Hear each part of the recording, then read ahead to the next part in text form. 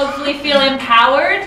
You have a lot to share as well, and we would like you to um, be working towards that goal. Of course, we want to still come back. I love coming to Ukraine, so I hope that you'll still invite me back as well. but um, I would love to have more Ukrainian teachers giving presentations, workshops, because there's just so many great ideas floating around this country, and I just love it's a good energy. I think we can share and learn from it. So, all right. So last one today. I know there's a lot of some technology. Um, presentations, Web 2.0 I saw on here, so hopefully this will kind of tie in and there's not too much repetition. But language learning with video and photography. So first of all, how many of you right now have a camera or a phone with a camera? Everyone? Who does not? Okay, that's okay. If you do not, for this exercise, I'd like you to share with your partner. Okay? It's okay. So everyone get out your phone or your camera. Your camera phone or your camera camera. Or your iPad. Whatever. Okay? All right. So I'd like you to look in this whole classroom. Look all around. You can go anywhere you want. I want you to take a photo of three things that you find interesting. It can be people or things, anything, okay? Three. But you only have exactly one minute to do this. Okay, are you ready? Go. I'll time you. Go. One minute to take three photos. Technologies that the students already love. They already love to use these. They already know how to use this. You don't have to teach them. You don't have to pre-teach how to use it. You can just start right in with our students. Also, it's visual and interactive. So time and time again we see research that says if an activity or if language learning is both visual and interactive, the information will be retained longer and more efficiently. And just countless research that shows us this. And when we're taking photos and taking our own photos, we are interacting with not only the subject, but with how we relate to the subject through language. Um, even our quiet students can participate. So it kind of stimulates them, it helps get them out because they can do the activity. Even if they don't fully understand your instructions in English, they see what the other students are doing and they can partake. And they can get a little bit of confidence through sharing. And Perfect nowadays, it's widely available, and we don't have to have expensive equipment in our classrooms, which is super great. Okay? All right, so this is me in Shastia. Really? Does anyone know where Shastia is? Yeah. Unfortunately. Unfortunately. Yeah. Happier times. Happier times in Shastia. And this is with a group of high school students. And I did a scavenger hunt with them on photography. So what we did first of all is I gave them a short presentation on how to take better photos with their little cameras, how to make their photos better. Okay? So I had a whole presentation. I taught them things like the rule of thirds. Does anyone know what the rule of thirds is? Has anyone heard of this? Yeah. For the photo. For the photo. The third part should be person, yeah? Huh? The third part should be. Well, close. Good guess. The rule of thirds means that when you look through your camera, or like this, and you picture your photo, you should imagine that it is in three parts here and three parts here. Okay? Now, the rule of thirds in photography says when you take a photo, your photo is more interesting if your subject is here or here or here or here. Not in the center. Not in the center, right? However, there are some beautiful photographs where the subject's right in the center, right? But the photographer knows this rule. When you know this rule, then you can break it. Okay? If you don't know the rule and all your pictures are in the center, of course it's not as good. So this was a rule of thirds. I taught them how they can get close mm-hmm. and fill the frame, mm-hmm. fill the whole frame with their subject. Okay? We talked about mergers. Does anyone know what a merger is? Oh, It's like- connecting something. Yeah. Kind of. It's like if I take a picture of her in the park, but I didn't see that she has a tree growing out of her head, right? or something like this, or a fence post going into the head, right? We, we see these pictures all the time. So we talked about, I would tell them the concept, and then in the classroom they would practice. There's me with my big camera, and they're, they're trying it out. So I would tell them a concept, and then they would practice. And then when I would tell them again, and then they would practice. And this is all levels within this group, very low and fairly uh, competent with English. So we went over this, we had the whole session, and then I gave them a scavenger hunt like this. Okay, so number one, take a picture of something blue using the rule of thirds. Okay, take a picture of something yellow. Take a picture of something using fill the frame. Okay, take an interesting photo of a building from up high or down low. Okay, uh, use leading lines. These are leading lines. See how the line leads to the subject? Leads the eyes there. Okay? So they learned all this first, and then I gave them, and then they went off into their neighborhood and had a lot of fun. So they're using English to follow directions, even though it's you would think, oh, it's kind of complicated. It's photography rules, but these students could all do it. They worked together in pairs, and then they uploaded their photos to our Facebook group. We had a Facebook group, and it was just kind of fun, interesting activity.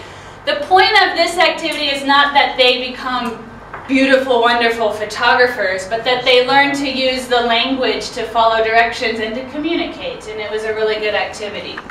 Now, if you don't know a lot of rules about photography, it's okay. You can still do a scavenger hunt. Oh, oops. I did it in Japan too. I'll show you my Japanese students. High school students, same thing. there they are doing all kinds of things because they all have cameras. Yeah, so she's, you know, they're doing all kinds of angles and they also had it. So they're English language learners as well and they loved it. Okay. So here's some ideas for your scavenger hunt. I did this one, but you could do vocabulary. Take a picture of lower level, a house, a car, a bus. Um, for higher levels, we can do a different activity, which I'm going to talk about later. Adjectives and descriptions. Take a picture of something big, small, short, fat, thin, sweet, salty. Sites around the school or the neighborhood.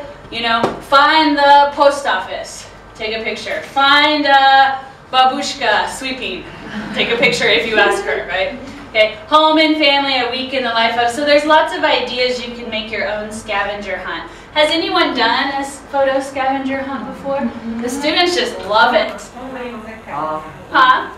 Summer camp. Summer camp. It's like a summer camp activity, but you can still you can do it for a homework assignment. And they have fun. They can go off in their groups. You don't need to use any class time really to do it. Something that they can do. Okay? Another activity I like to do with photography is storytelling. Tell a story. So these students um, from Luhansk and Shastia, they came together and their assignment was to tell a story about life as an EFL learner in Ukraine. Okay, so some of them took pictures on the train to summer camp. Some of them took pictures at the school cafeteria because they have English classes right before lunch. Um, took pictures of the friends that they met through English, through access programs. They, some of them took pictures of their English textbook. Some of them took pictures of um, their English teachers, right? So just how, what does an English language learner's life look like in Ukraine? And I wanted them to think, if you were telling a story in a storybook and there's no words, how would it look in your pictures? Okay? And then, of course, what we did is in the class we would share our stories. You don't even need a computer, they can share it on their phones or on their little cameras. Okay? So you don't need technology for this, but then they have to talk about the story. You can work on storytelling first, after that, transitions, and then I do this, and every day I do this. And it works on different storytelling techniques. Tell me about your daily routine. What do you do from when you wake up in the morning? So you had to take a picture of yourself. Selfie in the morning. Brushing your teeth, right? Some of them hate this, but some of them think it's pretty funny. Uh, your school life. Tell me a story about what you do with your friends on a Saturday. Tell me a story about uh, your family, or tell me a story about something in your home. Okay? And then they can they can share these many ways. They can make a photo essay if you have more access to printing. They could do a photo essay. They could do a PowerPoint if you want to teach PowerPoint presentation skills and if you have that technology. Um, these Microsoft Photo Story, iMovie are free. Usually, you can download off the internet, free programs. And then, of course, Facebook or Vkontakte albums are really good for sharing. But there's so many ideas, and you can take from the textbook, you can take from the curriculum you're teaching, kind of go along with that idea of what you're trying to teach them. Think grammar that they're learning. Um, you could say, if you were teaching the conditional, if I had a million dollars, I would, and they could illustrate that through pictures. They could get really creative and, and learn the grammar that they're they're working with currently. So it's a good way to kind of just give something fun alongside the curriculum you're teaching, so that we can kill two birds with one stone, so to speak. Okay. All right. So something I love, which has really worked great for me in all levels, is a having the students create their own picture dictionaries on their phones. So, I'll give you an example. This was from Luhansk when I was teaching university students, but you can adapt it to any level. And I told you they were studying about American government. This was their, I'll come over here, these were their uh, vocabulary words for that chapter. Patriotism, democracy, corruption, negotiation, conflict, power struggle, protest. So we learn the definitions of the words through the textbook, okay? But then the assignment was now make a photograph which represents each word for you so that you can remember it. So I made my example. How did it demonstrate corruption? I'll show you. Here's democracy, or no, here's patriotism. Right. This guy's from South Africa, actually. my friend from South Africa. I dress him up. Okay, patriotism, you know, a pride for my country. Democracy. That's my husband. My husband likes beer. That's his favorite beer shop in the United States. Democracy for me means having free choice. Mm-hmm. And so my husband's having free choice of the beers, and he's allowed to make them and choose and decide. So Ukraine is more democratic than US. Maybe, maybe. Actually, that's in the U.S. Yeah. So, corruption.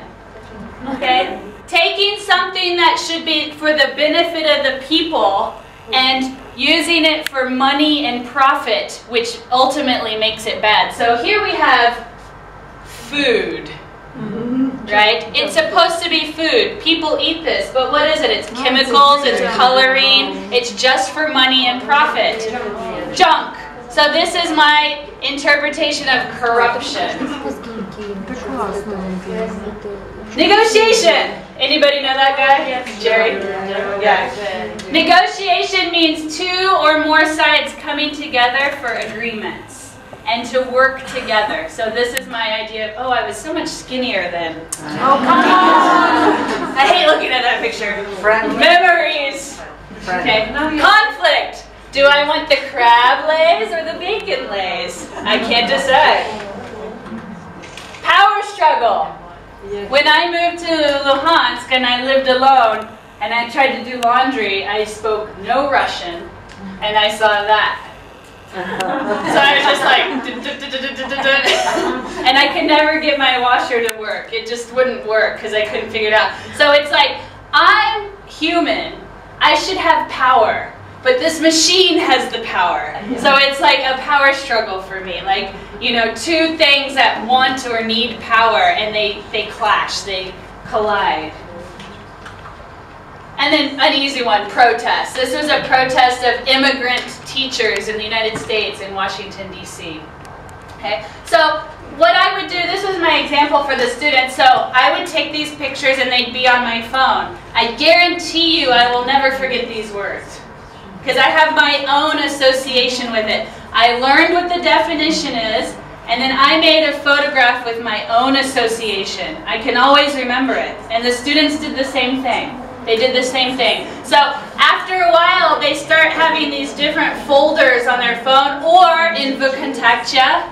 or in Facebook. So, for example, they could have chapter one vocabulary on Facebook or Vkontakte. And, and when they're studying for tests, they can just look through the pictures they made. It's so easy. And they can remember these associations. It's really great for visual learners. And it's a good opportunity to be a little bit more creative. They can also keep it on their phone and look through, oh, I forgot what that word was. Looking through their own photos will spark something within them. Has anyone done anything like this before? No. Picture dictionaries. They're I was awesome. doing the road maps. I discovered about the method of location, and we were doing the maps, uh, like locating words to particular places, and they were taking photos of places. Okay, places. on- Because we were studying a lot of terminology and we, they needed to connect something. So they, are, they were connecting particular points Okay. are in a city with a particular word like merger, acquisition, defamation. Okay, so it's a similar kind of Yeah. word association with Yeah. their own idea.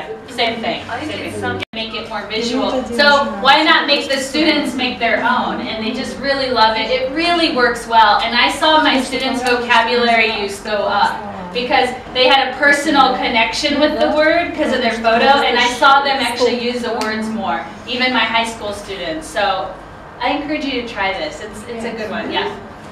Uh, this is, I recommend this is uh-huh. They, they hear children and adults around the world one day yeah. take pictures and read. Nice. And then they write why they have chosen this picture or what is in this picture. Mm-hmm. And you can, find this site, which mm -hmm. is mm-hmm. one, one day on Earth. And one day on Earth. I think there's a few of these. There's different ones. And they actually, they sometimes take these pictures and make hard books of them. And they, they But- photos. Yeah, yeah, so- films. Yeah, it films all kinds of things. So you can have your students upload things to that. Yeah, that's another good project. Another They photo. very excited. Sure, it's a photo related and they can see what everyone else around the world has uploaded. Definitely. All right. Okay, so here about these photo vocabulary albums.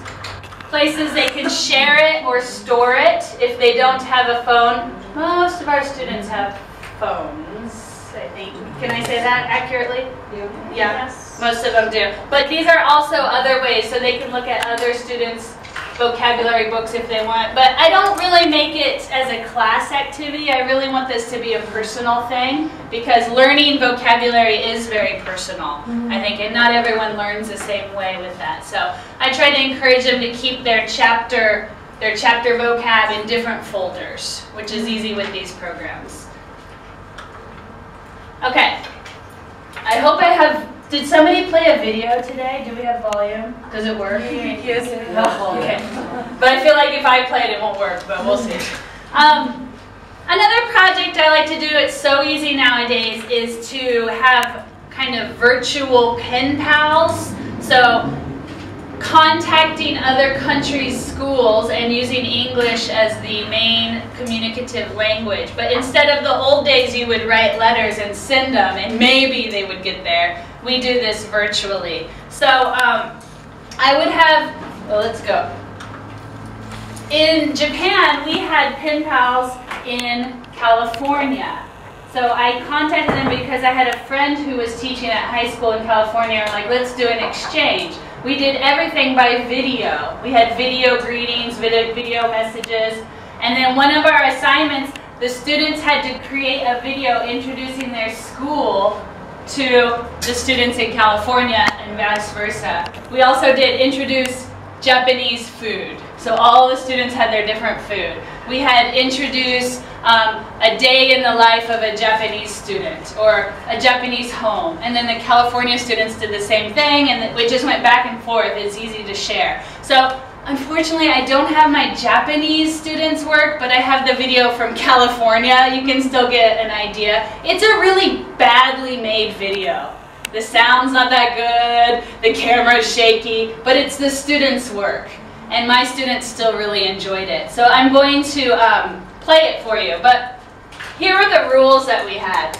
Okay? First, you have to introduce an aspect of your school or culture to the foreigners. You have to be clear, well rehearsed, and easy to understand. So for my class in J- Japanese high schools, every class is 40 students. They're quite large. Wow. Um, in American high schools, they're usually 30 25, 30. So I had them in groups of four, and each group had to had to contribute to a part of the video. So each group had their own assignment. Every person in the group had to have a speaking part, so they did have to write it and practice it. Um, like we said, speaking part for each group member, be within the time frame, and then for these we uploaded them actually to YouTube. We had a class YouTube. So let's watch the high school one from Come to School. We drive to school, and they filmed it. They filmed their lockers. They filmed their classrooms. They did most of the work outside of class, and your students could do this outside of class too. Maybe if you want to give a little bit of time for a few class hours. I know you're limited on your classroom times, and I know you have other things to get through, so this you can't always spend a lot of time, but the students usually can do this on their own. Um, during the break, I can get this video. I have it stored elsewhere, and I can show it to you. So I'll show it to you. Um, but has anyone done anything kind of like this? A video exchange? Can you tell us more about what you did?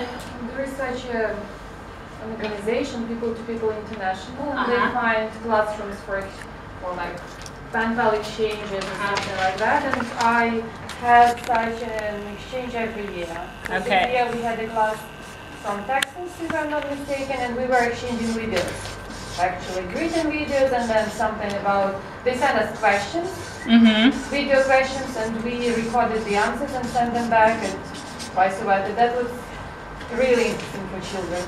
Excellent. And what age was that? Hmm?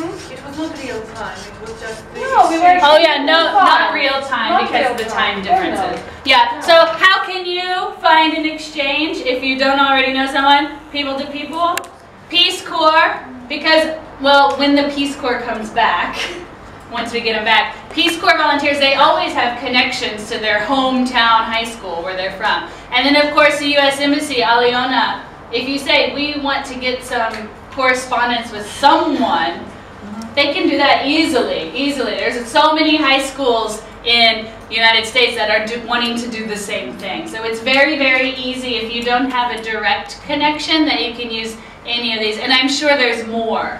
I'm sure there's more. Has anyone else done any kind of pen pals abroad? Yeah, can you tell us a little bit? This year, my students work in SECO. In SECO, it's a combination of some schools from different countries of the world. You know, and say, think about everything. Everything's different. Everything's different. How we sit in the classrooms, how the teacher comes in, lunchtime's different. Different school sports and clubs. Some high schools here don't even really have sports, and some of the smaller ones, right? So that would be something your students would want to talk about. And it's just so awesome. Because as Japanese students are just like, you know, they can wear earrings and makeup. It's crazy. Or spray paint their benches. We, I mean, that's just for that high school. so I think every high school has their own little thing. But um, it's just so good. They have to use English to communicate. And what's even better is they're sharing their culture. Not, I'm not really just talking about Ukrainian culture. I'm talking about their personal school culture. That's a different culture. And to be able to um, learn English is what we want to do to be able to share these cultures. So it's a great thing. And the project idea, also fantastic. And I hope, I encourage you if you can do this. You don't have to spend a lot of class time on these. You don't have to give the students class time to film. They can have assignments outside of class. So you can still get your work done and get the things you need to do.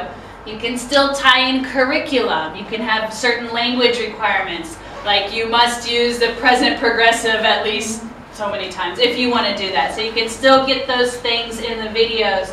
You can make your own requirements for that. It's just a good way. The students love it. They get a kick out of it too.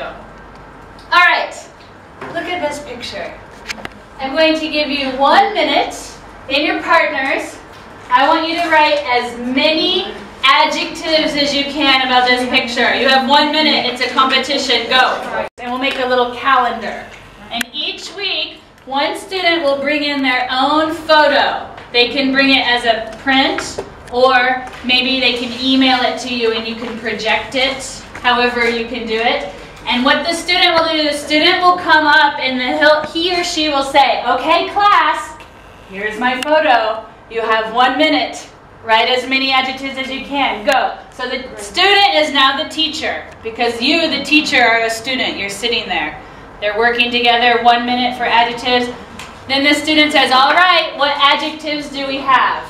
Okay, and so the students will give out their adjectives, we'll listen to them, we'll see who had the most adjectives, okay? And then that's just a warm up. It gets students thinking about adjectives, it encourages them to learn some more adjectives. Every week, if a student can only think of interesting, lovely, then they know they need to increase their, their adjective vocabulary. It gives, um, it gives each student the chance to be a teacher and to show a photo of their own. It can be any photo they want.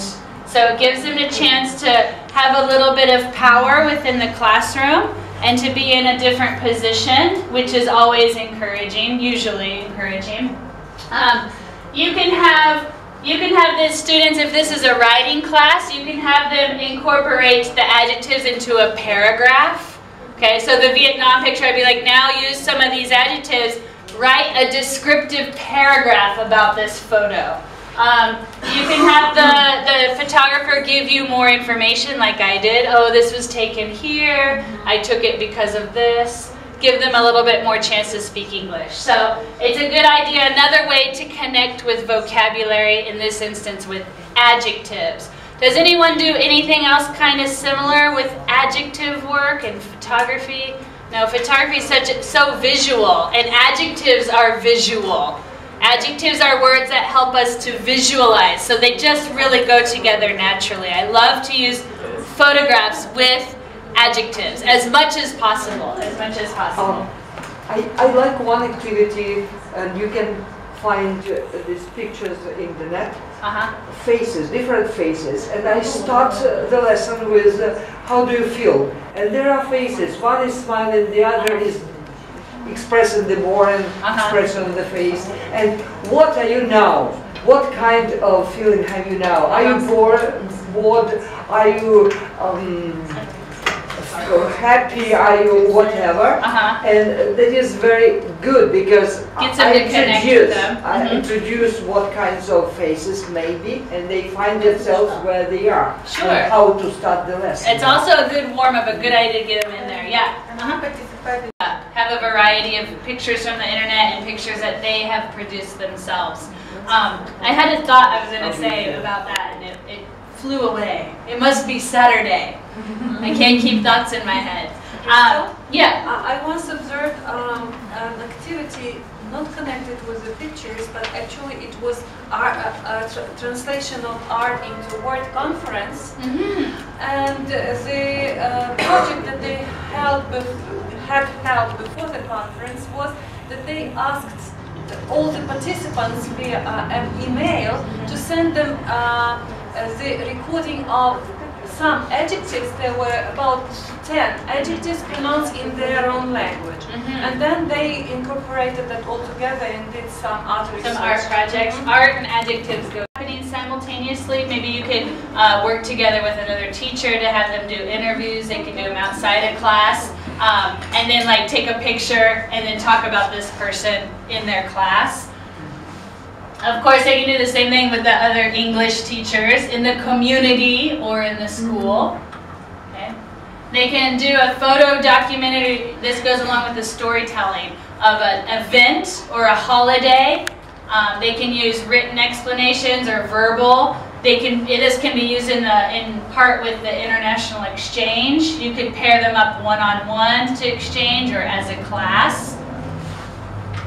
Um, self-portraits, selfies, okay? Students take selfies all the time, but for the self-portrait, I would encourage them to be more creative, maybe use a timer or have a different way of taking a portrait and then talking about it. So you can have about me paragraphs for beginning level students, or you could write autobiographies for your more advanced and have a, a beautiful self-portrait. And you could go online and show students examples of different creative self-portraits, not just this, right? There's all kinds of ways we can take self-portraits. So it's another way for them to not only express themselves visually, but then to connect it to their written expression, which makes it more personal, which makes it more interesting. So that's a way to get them involved with that. Ah, this is this is one of my favorite, and I need to get the video from this. I did this in Japan. I went around the school and I found Oh, many pieces of broken things. So like like a part of a part of a chair. I found a stick. I found a tube for something. I'm sure in your schools you have no junk, right? Oh, Yeah, all schools have junk hidden somewhere. So I brought into the class this big table of junk, all kinds of junk. I put them into different groups and they drew a number. So if they if you have number 1, you can come and choose your piece of junk first. And then each group had a piece of junk that they had to sell. So they had to come up with an infomercial selling their junk. What is it? Is it the Brainomaniac 2000? Right? They had to first brainstorm as a group. What is our junk? How are we going to sell it? And they are so hilarious and so creative. They're so creative. Then they have to make an infomercial. What's an infomercial? Every country has it. It's a commercial but longer, right? Introducing our new product. Da da da da da. Okay? Only 290 grivna. But if you call now, we'll give you a second one for free, right? These are infomercials. And the students know them because they're in every country and they know the format. You introduce the product, then you have testimonials. So some of the other students will be like, I tried this product and look what it did for me, right?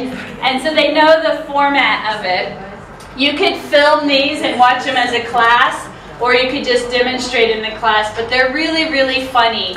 And I hope the next time I do this presentation, I'll have a, a video of it because my videos are actually in Japan. I, I need to get those from them. So, really funny, really creative. The students love it. At first, they're just like, what? You know how they shut off their creativity brains. But once they start brainstorming with their group, you hear laughter and they start getting into it. It's really cool.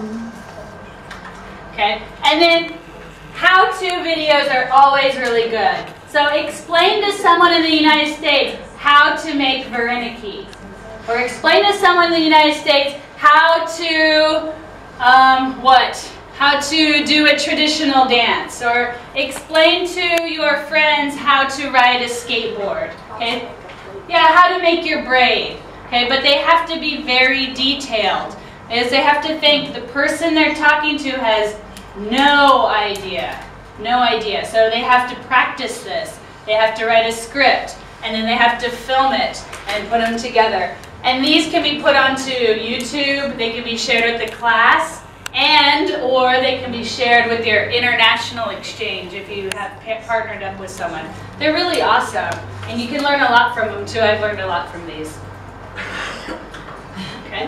And once again, these are just a few places we can share our projects, our albums, but nowadays it's unlimited. So this is already out of date because there's about 50 more. And the students know them, they're the first to know them. So there's all kinds of free ways of sharing, of exchanging, and that's really a benefit for us as teachers for sure. Okay. All right, so I always like to finish with a sharing time. So in your groups, maybe four or five, I'd like you to share how do you use photo or video in your classrooms now? What are some projects, some different things you do? If you don't currently use it, what are some things that you think you might be able to use it for, just like yesterday's sharing? So I'll give you some time to share and go ahead. Speak with your colleagues, which is great for us. Um, so we can always go back, no, you didn't do it. Recorded, okay. Who else has something to share with us? We've had two. Come on. You're going to be parting ways soon. Now's the time to leave us with your ideas. Well, we were talking for 15 minutes and no one has an idea of something they do. We, what were you talking about? Lunch? Dinner? Yeah. Okay, there is such a. I hope that maybe I gave you at least one thing you can learn today. Maybe two, hopefully three. Yeah. Okay, great. Yeah, so I hope that you can use some of these things. Um, best of luck to you in your teaching endeavors. I can't wait to come back to Ukraine and see some of your future workshops and presentations that you give. um, help each other, empower each other, encourage each other, because that's how we're going to make our educational system stronger. That's how we're going to change it for the better. So thank you, everyone.